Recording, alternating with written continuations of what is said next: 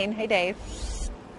Hey, Natalie, it's the MUFON Symposium. It's really just getting away, underway here at the Marriott, and I'll tell you what, it's good to know that Colorado keeps up a 41-year tradition of keeping the world informed about aliens and UFOs, and they're still waiting for ET to phone home.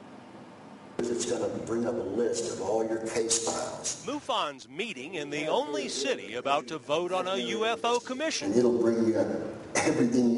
Ensure the, quote, health, safety, and cultural awareness of Denver residents. They do exist. The Mutual UFO Network, like this recent sighting in China, says it studies the UFO phenomenon for the benefit of humanity. The propulsion system that conveys these craft around so fast and so quick and far and uh, if we can develop that and turn that into energy we could use, we could have free energy here on this earth. The four-day symposium will feature some of the world's top UFO researchers sharing latest techniques to investigate unexplained phenomena. People that come to us that see things they can't explain, and uh, we try we try to do the best we can to either explain what they've seen or not. And while government cover-ups, abductions, and extraterrestrial shenanigans still dominate their agenda, Investigating this case by John and Jane Doe. their goal is very simple. Prove one way or the other. Are there races visiting us?